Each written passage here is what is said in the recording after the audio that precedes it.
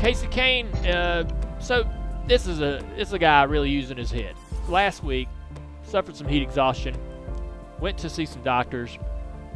Exp- expressed to them about how this has been an ongoing issue, and you can look at his victory lane celebration or lack of celebration at Indy last year when he won, just how gassed he was.